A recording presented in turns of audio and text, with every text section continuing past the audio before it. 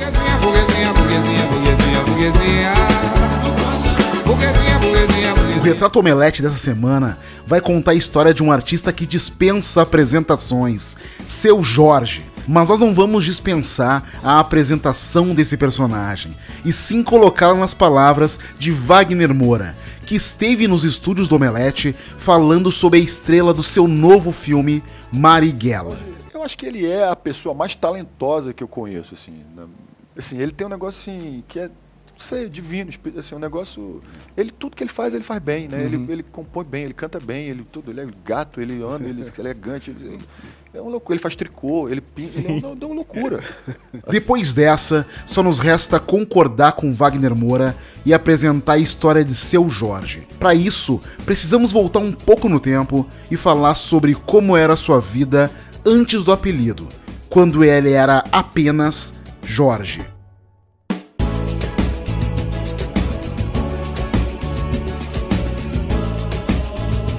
Antes de começar, não esquece de curtir o vídeo, assinar o canal e comentar qual o próximo retrato que você gostaria de ver por aqui. Nascido em 1970, Jorge Mário da Silva é o mais velho de quatro irmãos, todos meninos, vivendo com os pais em um quarto, como o próprio Jorge já definiu. Não, a infância em Gogó da Ema, em Belfort Roxo, no Rio de Janeiro, não foi fácil. Jorge precisou se virar logo cedo.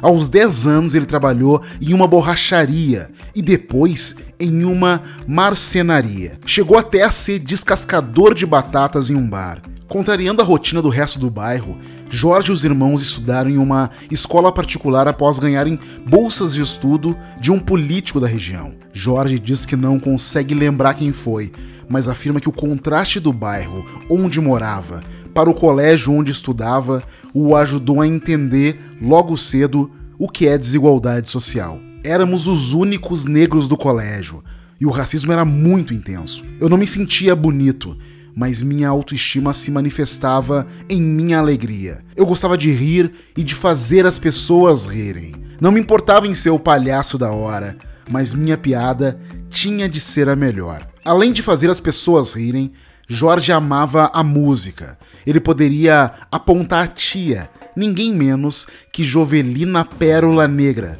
ou o primo Dudu Nobre, como talentos da família. Mas a verdade é que os dois não foram criados juntos e se viam apenas em alguns almoços de família. No começo da adolescência, ele passou a frequentar, acompanhado do pai e dos irmãos, rodas de samba, bailes funks e bailes da periferia. Jorge conseguiu alguns convites aqui e ali para cantar na noite carioca e impressionava pelo talento. Entre 1989 e 1990, procurou no Exército Brasileiro uma forma mais estável e disciplinada de renda, mas não se adaptou à rigorosidade no 2 Batalhão de Infantaria Motorizado Escola, no Rio de Janeiro, e foi expulso do serviço militar. Lá ele não gostava de funções que o fizessem ficar parado no sol o dia inteiro e assim acabou tendo contato com o instrumento musical pela primeira vez.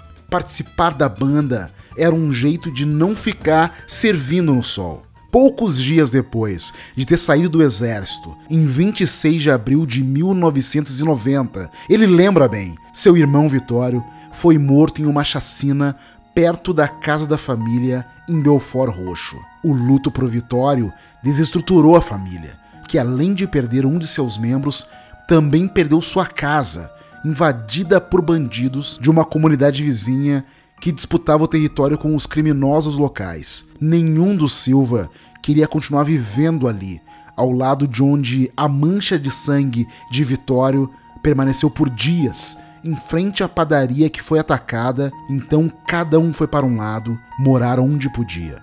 Jorge ainda arrumou um lugar para ficar, mas não tinha dinheiro para aluguel e acabou indo morar na rua. Passou fome e ficou sozinho por um tempo. Só ele e o violão. Passou a fazer bicos em um bar do Meyer, onde lavava a calçada do local antes de abrir. Na tal calçada, Jorge fez amizades com todo mundo que trabalhava no bar, em busca de uma oportunidade de cantar ao vivo. Um dos cantores regulares no local estava começando a fazer uma grana por ali e decidiu ceder parte da noite dele no microfone para Jorge. O combinado era que Jorge cantaria umas duas músicas para aquecer e devolveria o palco para o cantor regular. Mas no fim das contas, o cantor mais experiente decidiu não subir ao palco de tanto que o público tinha gostado de Jorge. Esse cantor regular era Xande de Pilares, que mais pra frente se tornaria cantor do grupo Revelação. Ele roubou a cena de uma tal forma que eu não quis nem voltar. Eu falei, não, não quero voltar não, deixa ele. Ele roubou a cena, tu botou todo mundo em pé, todo mundo dançando. Anos mais tarde, quando os dois já tinham carreiras consolidadas, Jorge explicou para Xande que ele não pedia para cantar naquele bar em busca de fama ou reconhecimento, mas sim porque sabia que os cantores ganhavam uma pizza do proprietário no fechamento da noite. Era para ter o que comer. Naquele ponto, anos depois do primeiro encontro com Xande, Jorge havia sido descoberto por outra figura importante na sua trajetória, o maestro Paulo Moura, que o viu cantar em um bar e o levou para fazer um teste em um teatro. Um amigo de Moura Amir Haddad, precisava de cantores para uma nova versão do musical Mãe Gentil Folias Guanabara. Jorge acabou arrebatando o papel principal em 2000. Depois disso, Jorge continuou no grupo de teatro Tá na Rua, de Amir Haddad, e os dois acabaram trabalhando juntos em mais de 20 espetáculos no Teatro da Universidade do Rio de Janeiro, onde Jorge também morou até 1997 para evitar dormir nas ruas. No teatro, Jorge começou uma parceria musical. Gabriel Moura ajudava Jorge a compor para o teatro, pois antes disso ele nunca tinha arriscado compor as próprias músicas isso trabalhava com covers. Seu Jorge conta que as músicas que escreveu, junto com Gabriel Moura, são sobre o cotidiano e têm inspiração no teatro. A gente trabalhou muito tempo com teatro popular e fazemos música para essa expectativa, para o entendimento do dia a dia. Em paralelo a tudo isso, Gabriel Moura estava montando a banda Farofa Carioca e chamou o colega de teatro para participar. Durou pouco mas fizeram um currículo de se invejar. Em 1998, eles lançaram o primeiro e único disco do grupo, Moro no Brasil. Em 1999, criaram o projeto Tributo a Tim Maia. E em 2000, saíram em uma turnê abrindo shows da banda Planet Hemp. Seu trabalho nos palcos e ao lado do Farofa Carioca foram suficientes para tirar Jorge das ruas definitivamente e também para lhe apresentar muitos outros músicos nos bastidores. Um deles foi Marcelo Yuca, um dos fundadores da banda O Rapa e o responsável pelo seu apelido Seu Jorge. Antes disso, Jorge não havia ganhado apelidos dignos de se tornarem nomes artísticos. Já foi chamado de Marinho pelos irmãos, por causa do segundo nome, Jorge Mário, mas era algo muito comum. Na escola elitista era chamado de Pelé, às vezes de Buiú, como personagem de A Praça é Nossa, e outros personagens negros da televisão. Era sempre comparado, chamado pelo nome de outros, mas agora era a vez de ter o seu próprio apelido. O público me chama de Seu Jorge, o... meus irmãos hoje me chamam de Marinho, que é de Jorge Mário, hum. de Jorge. E seu não é de senhor, mas sim do pronome possessivo mesmo, do que Jorge podia ser para os outros músicos, seu parceiro, seu amigo, seu apoiador, seu cara. Só faltava o mundo conhecer esse seu Jorge. Mas não demorou muito. Com um nome artístico na assinatura e agora em carreira solo, seu Jorge lançou em 2001 o álbum Samba Esporte Fino, que tem composições feitas ao lado de Gabriel Moura, mesmo depois do fim da farofa carioca. Entre elas a canção Carolina, uma personagem que até hoje está na boca do povo. Carolina, é muito natural. Carolina, eu preciso de você.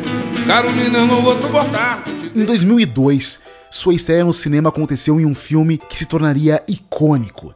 ele foi Mané Galinha em Cidade de Deus, de Fernando Meirelles e Katia Lund. Mais ou menos na mesma época saiu o álbum Cru, mais acústico que o anterior, mas igualmente genial. Dali a alguns anos, a música Tive Razão seria incluída na trilha sonora do jogo FIFA 2007 e ganharia um videoclipe simples, mas nada modesto, que contou com a presença dos hollywoodianos Willem Dafoe e Bill Murray. Tive razão, posso falar.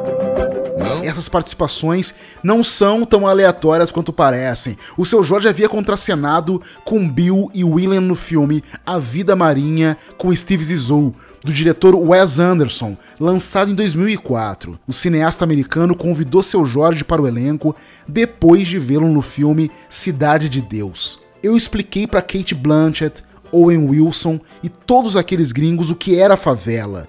Eles não queriam saber sobre os truques de câmera em Cidade de Deus. Daquilo eles estavam cansados de saber. Eles queriam entender como aquelas coisas aconteciam com aqueles personagens.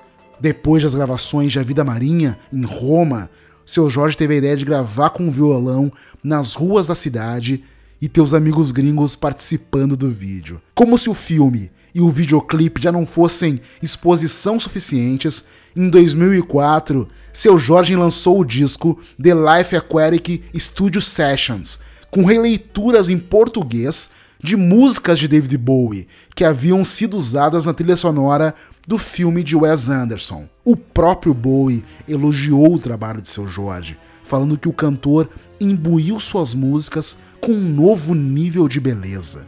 Como já diria outro Jorge, Jorge Benjor, sobre seu Jorge, ele não só sentou praça na cavalaria, como também fincou bandeira em Hollywood. E isso tudo vestido apenas com as roupas e as armas de Jorge. Entre Hollywood e Belfort Roxo, seu Jorge tem um catálogo de trabalho invejável, seja como ator ou como músico. Nos cinemas, trabalhou em filmes como Tropa de Elite 2 de 2010. Também atuou na comédia E aí, comeu? E no documentário Cidade de Deus, 10 anos depois. Além de ter contracenado com nomes do porte de Fernanda Montenegro em Casa de Areia e até do escritor Stephen King no curta Sleepwalkers. Já na música, gravou de DVDs como O Ana e Jorge, ao vivo, ao lado de Ana Carolina, e lançou mais quatro álbuns após The Life Aquatic Studio Sessions, com destaque para Músicas para Churrasco, Volume 1, que tem datas muito simbólicas. O DVD foi gravado no dia 20 de novembro, Dia Nacional da Consciência Negra, e lançado exatamente um ano depois, no mesmo dia. A ideia era transformar personagens que literalmente aparecem em churrascos nas periferias em músicas para que as pessoas pudessem se identificar. E lá estão a doida, a amiga da minha mulher, véia, vizinha e outras músicas. No palco com o seu Jorge cantaram Zeca Pagodinho, Jorge Benjor, Caetano Veloso, Racionais MCs, Alexandre Pires e muitos outros e esse trabalho lhe rendeu mais dois Grammy: melhor álbum pop contemporâneo brasileiro para versão de estúdio e a mesma categoria para versão ao vivo. Em 2013, ele se mudou para Los Angeles com a família. Los Angeles, a meca da indústria do entretenimento, onde tudo acontece. Todo artista precisa ir rezar lá pelo menos uma vez na vida. E parece que seu Jorge sabe aproveitar o networking da cidade. Ao saber que o brasileiro estava em Los Angeles, Lenny Kravitz convidou para cantar no casamento da filha, Zoe Kravitz. Acontece que o primeiro encontro de Zoe com seu então noivo aconteceu em um show do seu Jorge. Lenny então decidiu dar esse presente ao casal, que não está mais junto, mas as fotos da festa continuam ótimas, pois podemos ver Donald Glover, Denzel Washington, Jason Momoa e outros figurões tietando nosso Seu Jorge. Na temporada em Los Angeles, Seu Jorge lançou Músicas para Churrasco, volume 2, e entregou outros trabalhos inesquecíveis para o cinema. Em Pelé, O Nascimento de uma Lenda, Paraíso Perdido e Abe. Ele ainda trabalhou como produtor em Soundtrack de 2017, onde ele também atua. Em 2019, seu Jorge estrelou a série Irmandade da Netflix, como Edson Ferreira, chefe de uma das maiores facções do crime de São Paulo. Depois desse trabalho, muito elogiado pela crítica, agora está estampando os pôsteres de Marighella nos cinemas do Brasil. Agora, ele é o protagonista do filme de Wagner Moura, que é só elogios para ele. O que ele me entregou no filme, como ator, é brilhante. Uma das atuações mais potentes que eu já vi em muito tempo. No filme, seu Jorge vive Carlos Marighella, um político, escritor e brasileiro que foi um dos principais organizadores da luta armada contra a ditadura militar.